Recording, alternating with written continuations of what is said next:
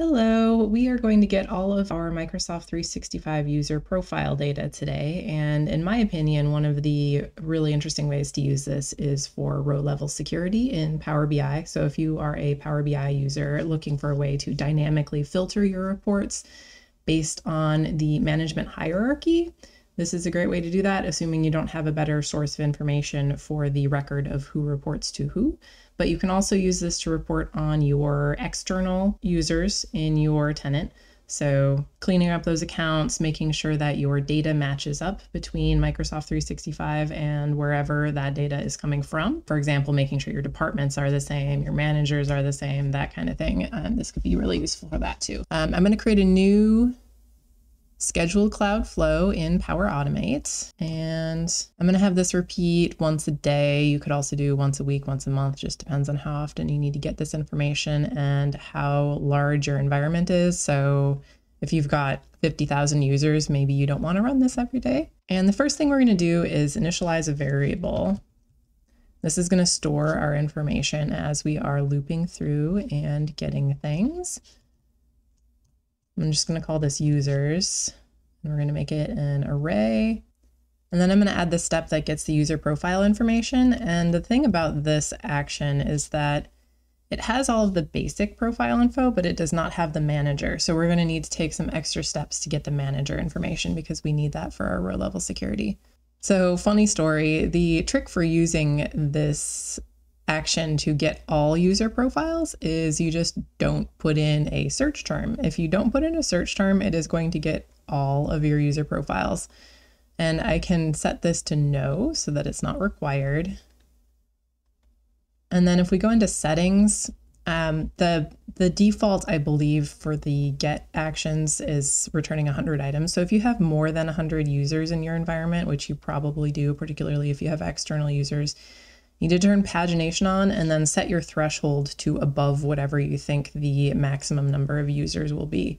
So I can set this to a thousand for my environment. I don't have very many users, so it's not um, actually not going to hit it without this, but that is something to look out for. So when you're running this action, if you find that it's returning a completely even number of users, you probably need to increase your threshold so that gets the basic profile information like the uh, username, the department, the job title, but we need to get the manager. So next we're going to do an apply to each loop. That's under the control category. And we are going to apply to each of the values from our get user profile step.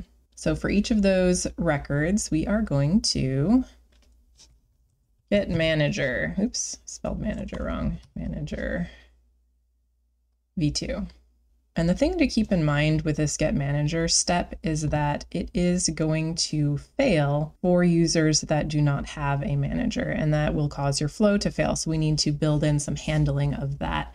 And you'll see this most often with your external users. So external users don't have a manager. However, um, if you're not filling in the Microsoft 365 profiles systematically, um, this could happen for normal users too. For the UPN, you just find the UPN from the search step here, this one.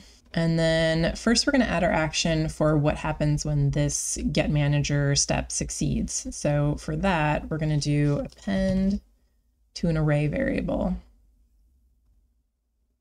And make sure that your step up here for initializing that variable was of the type array. I'm not sure if I mentioned that or not.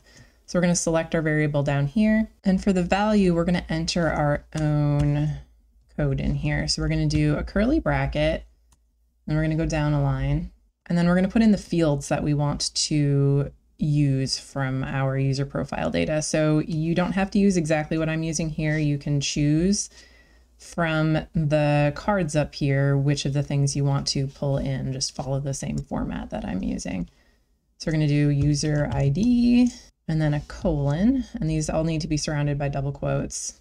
Another double quotes, and then we're going to find the ID from our get users step. So make sure not to use anything from this get manager step yet. It looks exactly the same as the information from the search for users. So we, we want to use the information from the, from the search for users for this part. So I want the user ID in double quotes, and then a comma, go down a line, and I want their UPNs. And the UPN is the username of the individual that is logged into Microsoft 365. And this is going to be what's useful for the row level security in Power BI because we can use that in our Power BI reports to filter based on information about the currently logged in user. Put that in double quotes, comma. We can throw their display name in here if we want that. And this is where you can pull in the department and job title too if you want to. I'm just going to do department and as far as other things in here, there's also office location, zip code, phone number, and whether or not their account is enabled. So this one might be um, good to so this one might be good to use, um, particularly if you're trying to do user cleanup activity. And for the last one here, we're going to get the manager UPN. So that was the one that we got from our get manager step. So I'm going to call this manager UPN. And I'm going to pull in from the other section. So this is going to be under the Get Manager section here. Their UPN. So we're combining data from those two get actions. And this needs to be in double quotes. And then close our curly brackets. And I'm going to rename this step to as manager because this is only going to run if the get manager action succeeds because that's the default behavior. So if I go to the configure run after in here, this is going to run after get manager is successful and that's the default behavior. So what we need to do is add a parallel branch here to handle what happens if this get manager step fails. So for users who don't have a manager. So I'm going to click on the little plus icon between these two steps and click on add a parallel branch. And then we're going to add the same action here, but we're going to have a different value for it. So I'm going to look for append. So append to array variable. And we're going to select our users variable. And for the value, I'm going to copy what I did over here and paste it and then modify that so that I don't have to retype it all. So primarily what we need to remove here is the manager UPN. So this manager UPN is not going to exist if this um, prior step fails. So we're going to take that out and just leave the double quotes in there. So that'll make that field blank. And then we need to configure the run after for this. So go to the ellipses menu and go to configure run after. And we're going to change this from is successful to virtually everything else. So is failed, is skipped, has timed out. So if the get manager step does not succeed, then it's going to set the variable to this value instead of this value. And then after our apply to each loop, so at the bottom here, we're going to add a compose step.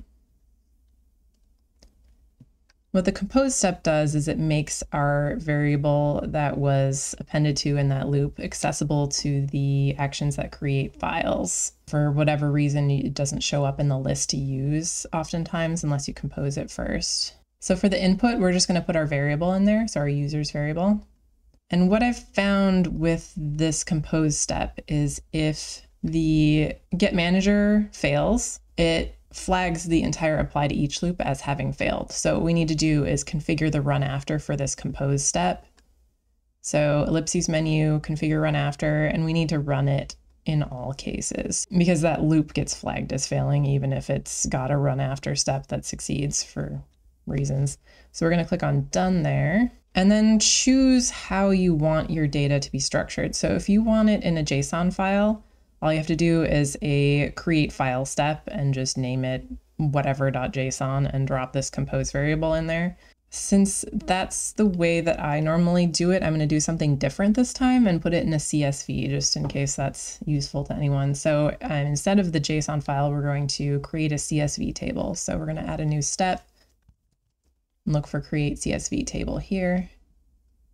And we're just going to drop our compose step in there. And the compose step is mostly for if you're going directly to a JSON file. It looks like the, um, the variable is accessible to the create CSV step. So you don't necessarily need it if you are making a CSV file, but I'm to include that in there anyways. And then we're going to use that to create file in SharePoint. And we're creating the file in SharePoint so that we can connect directly to it in Power BI and schedule refresh on it so that our user profile data is automatically updating. Our Power BI dataset is automatically updating based on that file. So I'm going to choose my site and my folder and then name the file. So I'm going to call this users.csv. And then for our file content, we're going to use our output of the create CSV table step. And if you wanted to create a JSON file, you would just have this be .json instead and drop in your compose step in the file content. And then the other thing we need to do here is go into the ellipses menu and go to settings and we need to turn off allow chunking. This is going to make it so that when our flow runs on a schedule, it can overwrite that file. We want it to be able to overwrite. All right, so I'm going to save this and test it. And it succeeded. So you can see in this apply to each loop what happens is this get manager step failed for the first user because the first user was an external user. So instead it appended the information to an array variable and left the manager blank. And if I go to the next user, I have like all of five test users and only like two of them have managers. So Linda has department sales and her manager is me. If we go look at our create CSV step here, it looks like it's successfully creating the CSV. So I'm going to go look at this file in our SharePoint site real quick here. All right, so here's our file. I can click on it to open it. And what you'll notice here is that the UPN for our external users has a hashtag EXT in the UPN. So that's how you can identify which users are external and which are not. And the way that I like to connect to this data is to download a copy, connect to it locally, and then change the path to SharePoint for that file. That way I don't have to use the folder connector because that creates a lot of unnecessary baggage. So I'm going to link the video on how to do that in the description. Also try and put in a card on the screen. We'll see if that works. And we're going to use this in a later video to set up our dynamic row level security. That's everything I have for you today. And thank you for watching, and I hope you have a great day.